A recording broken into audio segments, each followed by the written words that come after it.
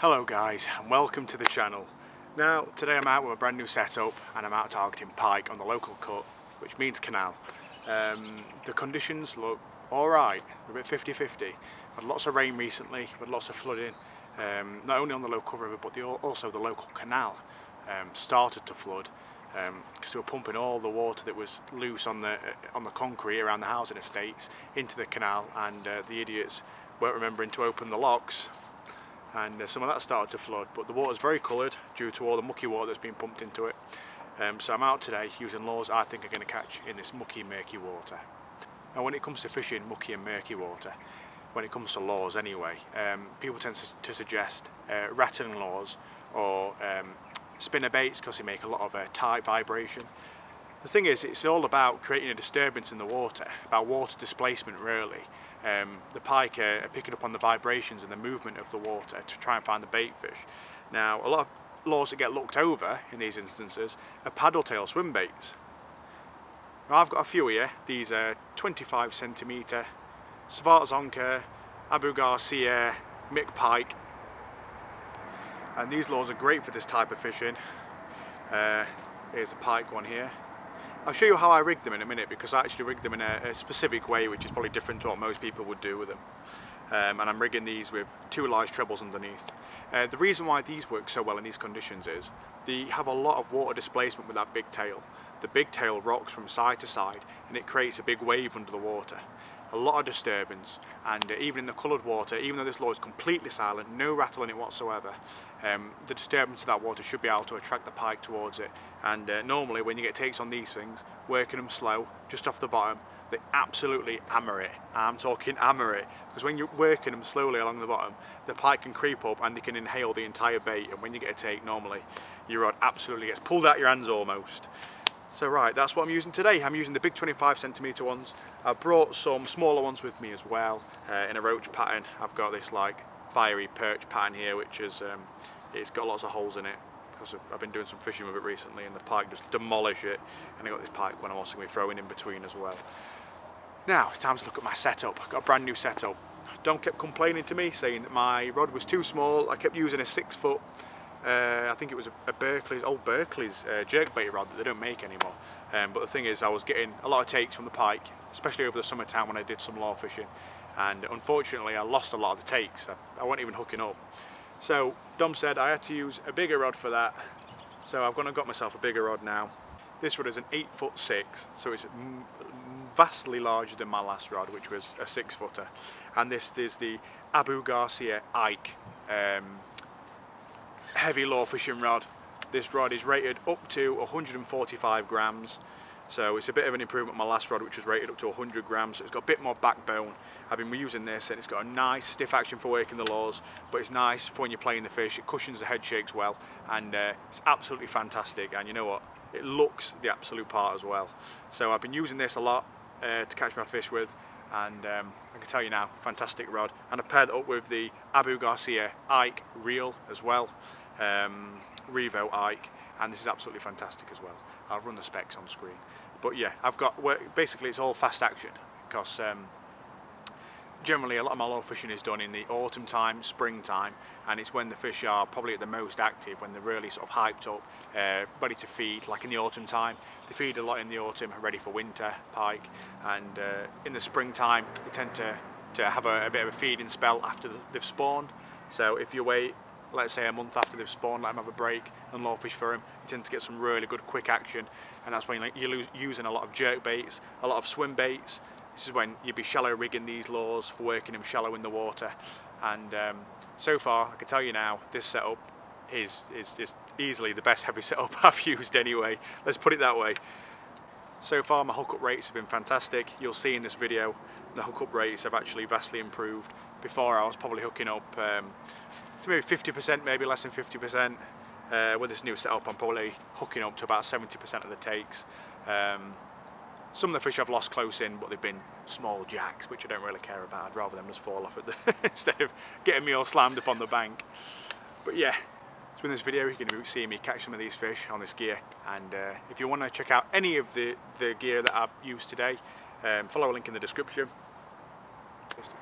So you see my rod and reel today, what I'm going to be using, and you've seen the lures that I'm using, so it's now time to look at the line. So I'm using uh, an 80 pound Berkley's line, that I'll also be linked in the description, uh, and I'm actually fishing that down to an 80 pound fluorocarbon trace. Over here in the UK, it's a bit of a frowned upon subject talking about fluorocarbon for traces for pike. Everyone uses wire, wire is great, fluorocarbon is great. I've just started using it as last maybe two years now. I've not had one break off. All you do when you get some fray in your line at all, any kind of rubbing, you just clip it off above where the pike's rubbed its teeth against it, retie it and away you go again. It's, it's no big deal. And I'm also rigging that on a, a fluorocarbon stinger.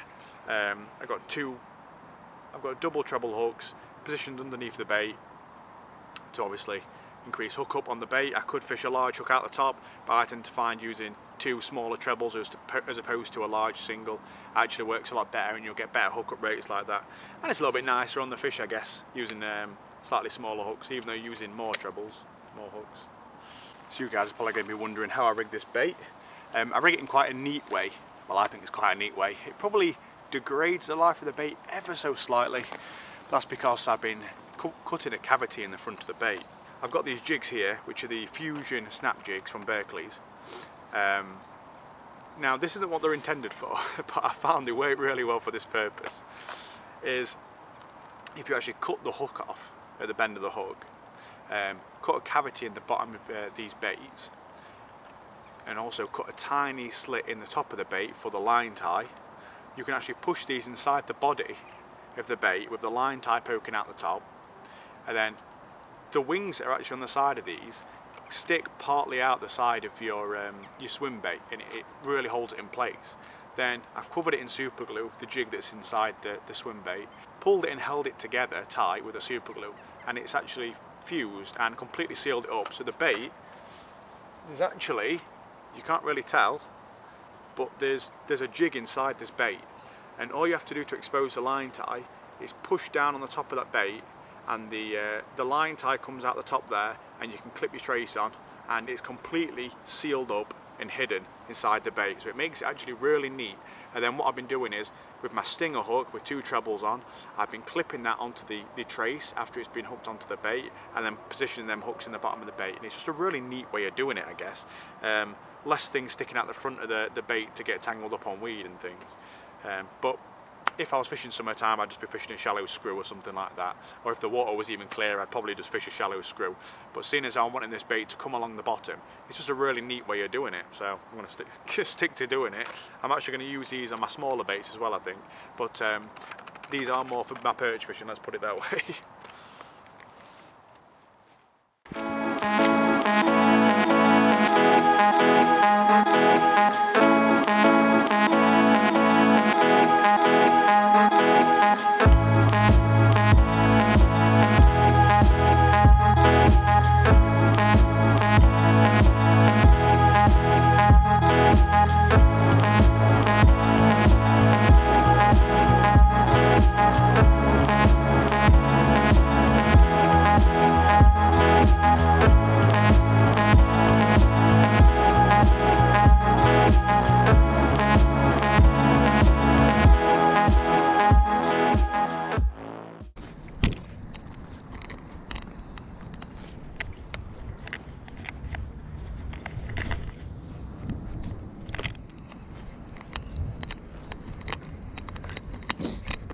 Got a fish, got a fish.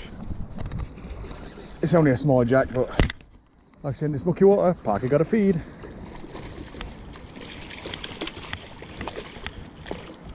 Here's a little guy. Take my glove off, even with this little guy, he's got fish care is paramount. The gloves are only going to get caught in the hooks anyway. Hey, the hook just slipped out there. Nice little pikey, look at that pale colours because of how mucky the water is. It's good when the unhook sounds like that, isn't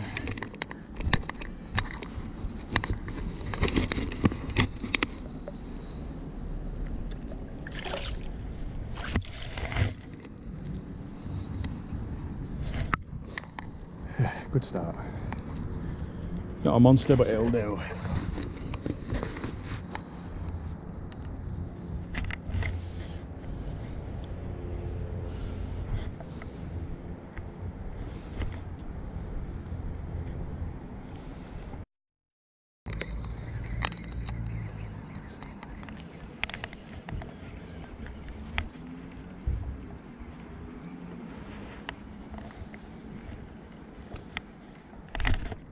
Got a fish. Nice fish. Oh no, it's still a jack. Oh, come off.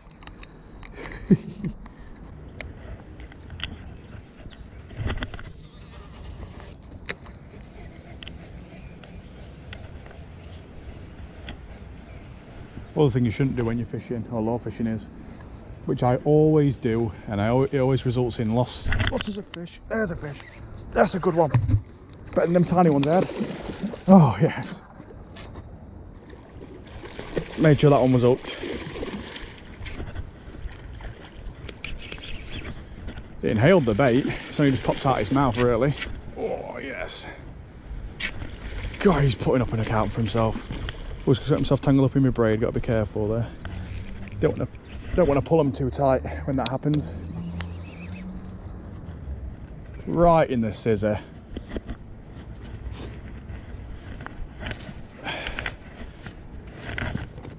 Bit better than tiny jacks have been catching. That's got a bigger mouth on it.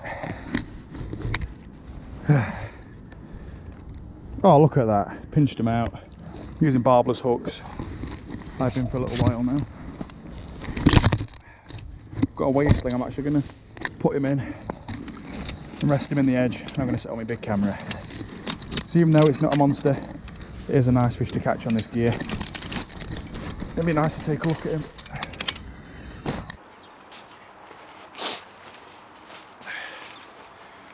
Here we go, water over nicely in the mat keep it nice and protected. This fish has got a lot of battle scars, probably from where people have had it all over the path. There's uh, a few scars on its flanks. That's what you get for letting them rest. There we go. Beautiful pike. Probably about six pound, something like that, six, seven pound. Nice size fish. It doesn't look that fat, but it's got a bit of weight to it and it's quite chunky at its front end. Really nice looking fish. Solid, give me a right good take and uh, I'm well pleased with that.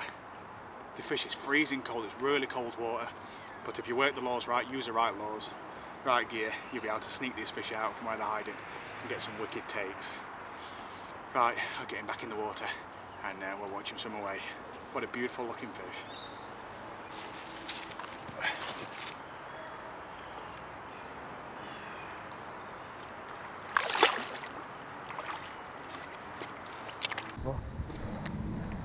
Especially under bridges and things.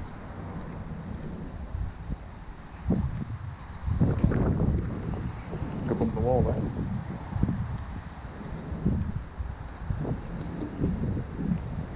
Weed. There we go. Fish on. Fish on. Oh yes. Absolutely crushed it. I knew there'd be one under this bridge this rod's really good for this kind of thing. Just walk him out to a place where I can easily land it. Really strong fish, even though it's only small. In the murky water, I've been fishing all of about 10 minutes and uh, the pulse of this bait drew this pike out from the dark murky waters underneath the bridge. Only just skin hooked. Come on. Callum doing. Whoa. Gotta be careful, there's a couple of trailing trebles there. Right, let's try my left hand. I'm actually better at training with my left hand because I'm used to unhooking with my right. There we go. Nice hook hold lug, right in the corner. There's that big chunky bait, big paddle tail. Drew that out from under this bridge. Probably a fish of scraping four pound, but still, lovely looking fish. Got some big pliers and I've got some small pliers and I only need my small pliers for this one.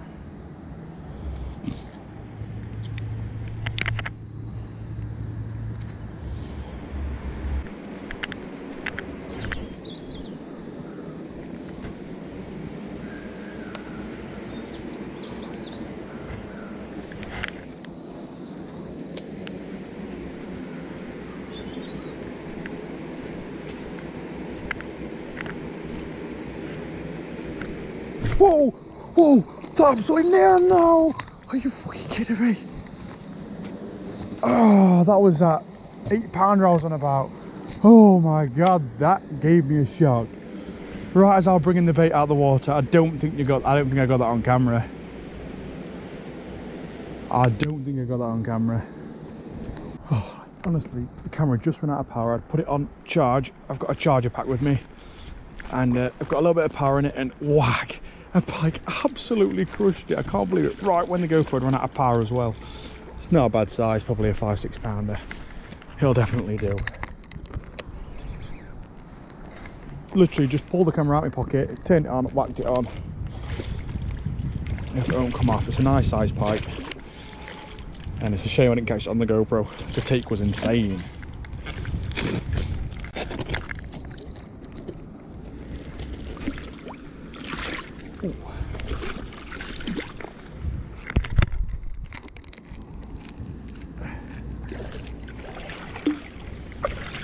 Go, got a nice firm grip on it. Just skin up there. There we go, barbless hooks, pop straight out. Exactly how we like it. Really nice fish. Probably maybe a bit bigger, similar size to the last one I had. Maybe about six pound, seven pound. Yeah, I'd say seven pound all day. That big head on it, big jaw on it, big sharp teeth on it, look. Put it in the sling and we'll get a better look at it.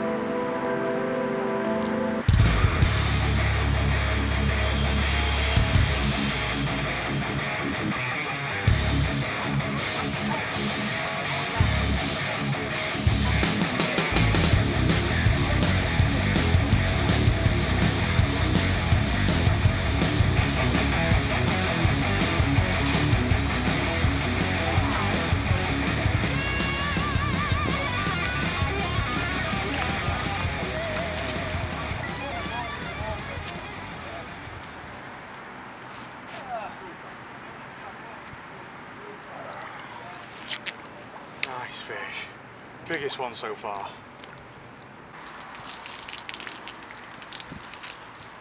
There we are, beautiful pike. I've not unhooked it yet because both the hooks was positioned well in the mouth. So I'm going to unhook it now. It's a good size fish.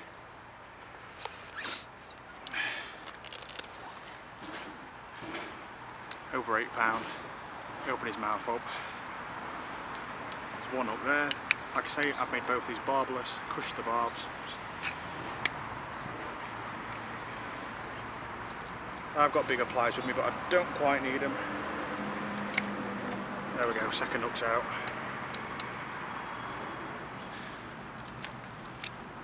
Yeah, that's a big one, isn't it? Yeah, it's not bad.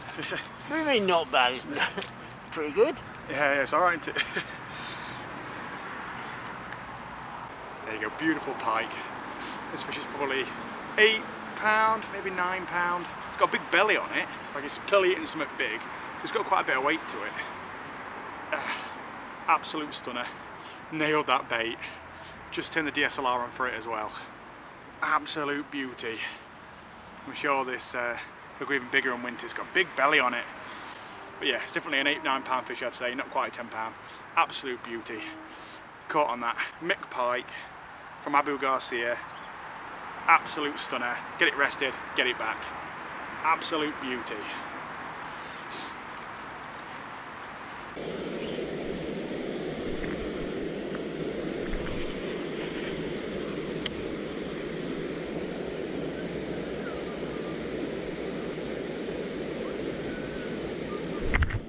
Got a fish. We got a fish. It's only a small one. Ugh. Bloody hell, it is a small one.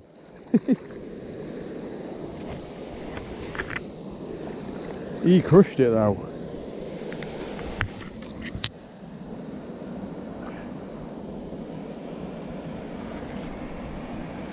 Well, I can hardly chin that because uh, one hook's in th that says a look, the other hook's come through the other side. So I can't really chin it. Get that hook out first.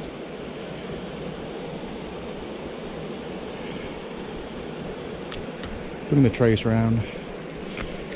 There we go. And get it under the chin now. There we go. Really solid hooked. Little jack bite.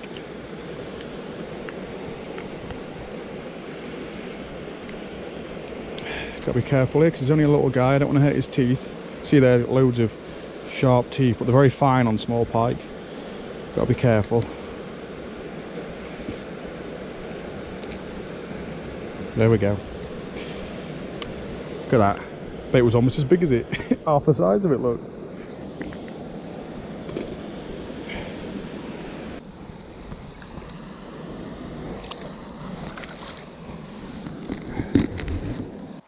So guys, thank you for watching. I hope you enjoyed that video. I really enjoyed filming it. Got plenty of fish. Um, lots of action actually off camera. Unfortunately the GoPro ran out. But uh, yeah, really, really thoroughly enjoyed myself. Um, like I say, if you want to check out anything I used in this video, go to the description below. Also, there'll be a link to my Instagram page down there as well. It's time for me to go get a shave because the beard's getting a bit long, and I'll catch you guys later.